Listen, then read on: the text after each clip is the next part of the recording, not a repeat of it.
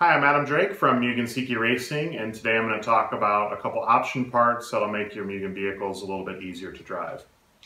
What we have here is steel pillow balls and steel nuts that capture the pillow ball.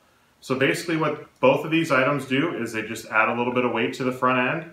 They make the vehicle a little bit smoother and easier to drive off throttle and through the middle of the turn.